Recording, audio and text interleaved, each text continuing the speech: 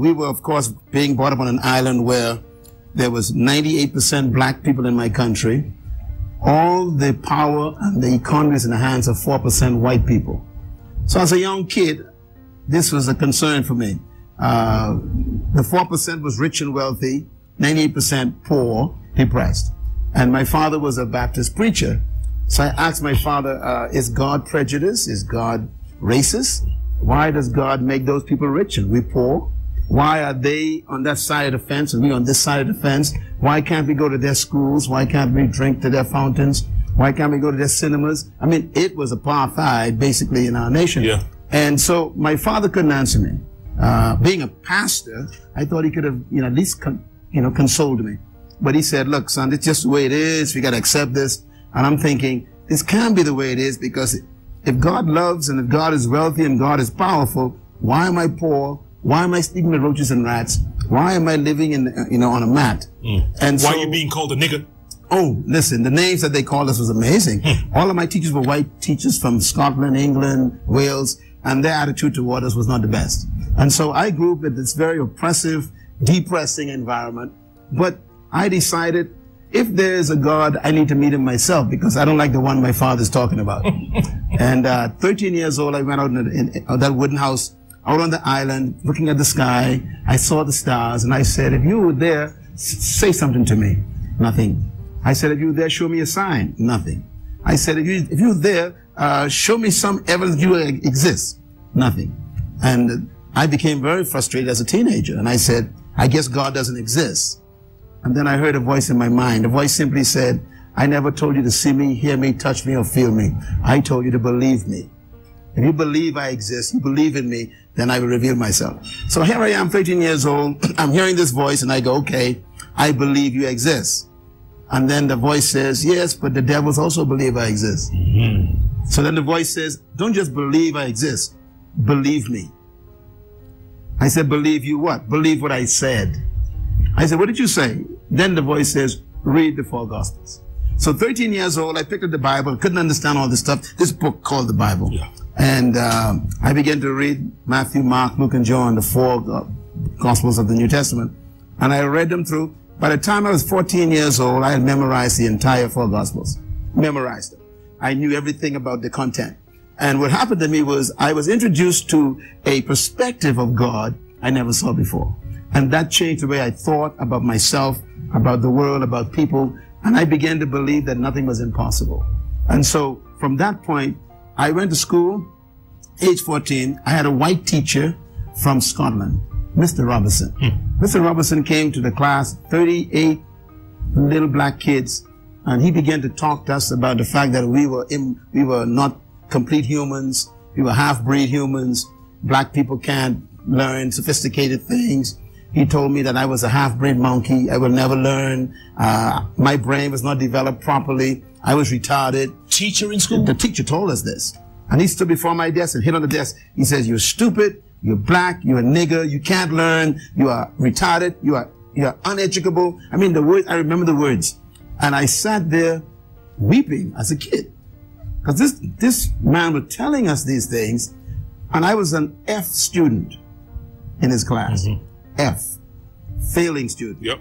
So my conclusion was maybe he's right. He says you're a half-breed monkey, retarded, uneducable nigger. Hmm. I said maybe he's right. I went home and told my mom. I said, Mom, the teacher said that I am retarded, I'm a half-breed monkey, I am uneducable, and I am a nigger whose brain is not developed. My mother said, Don't you ever say that again. She shook me. And then she gave me this book that she called the Bible.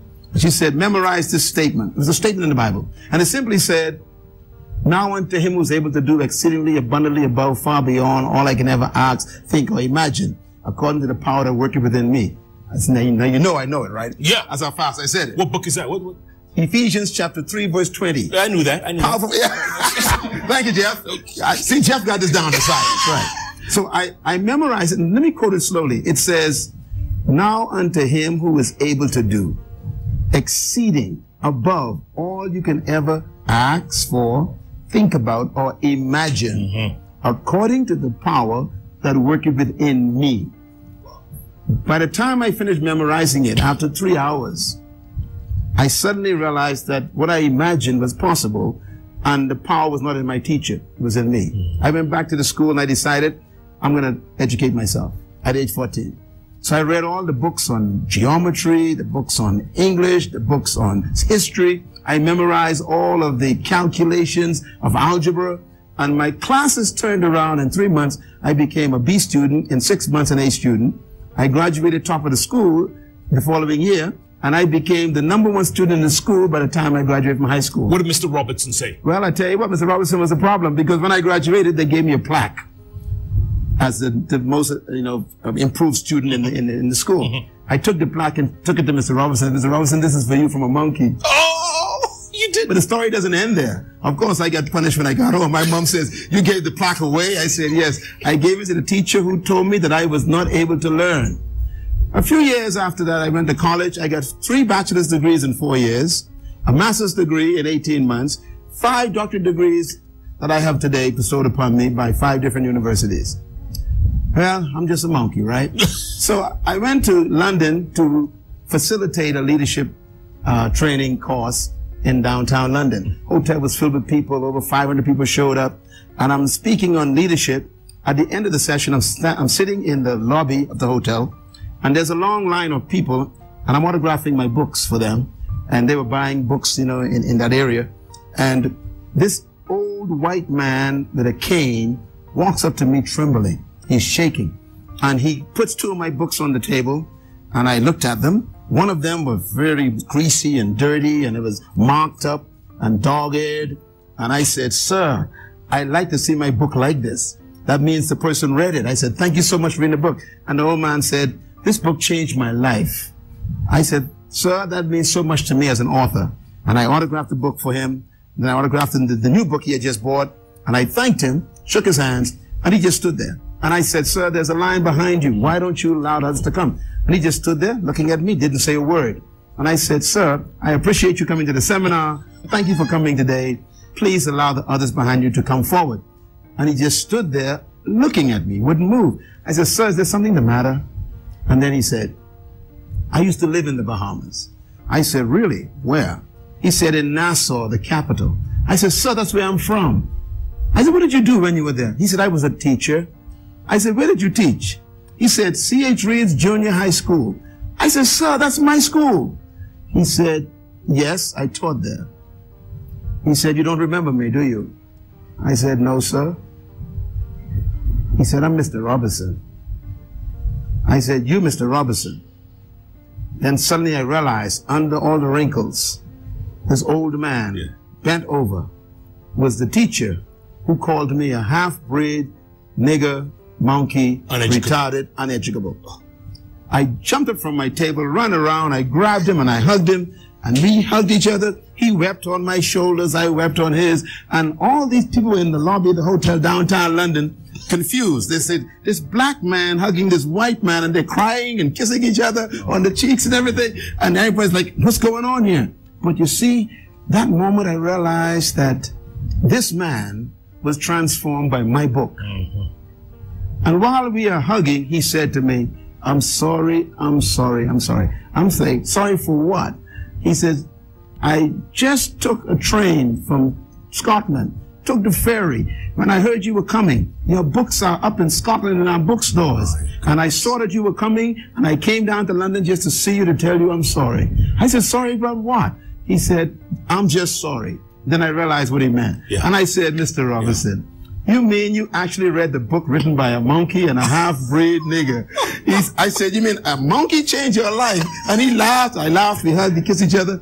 And I said, Mr. Robinson, don't you ever again hmm. underestimate a human. That had hurt him for many years, hadn't it? Absolutely. That guilt. It, he saw my success and he remembered that he did not treat me properly. So I tell people, Yeah. never cancel people. Mm-hmm. Don't assume you know anybody and don't speak negative to any child because in that child could be a best-selling author. My goodness. Today, you know, uh, my books are, in, are, are textbooks in that school In that same school. where he called me a monkey. Oh. Hi, thank you for watching. Please, you can support our work and get access to full videos plus exclusive content on our Patreon page. Don't forget to subscribe and hit the likes button. Please share this with your friends and always check the video description for more fun stuff. Thank you and God bless you.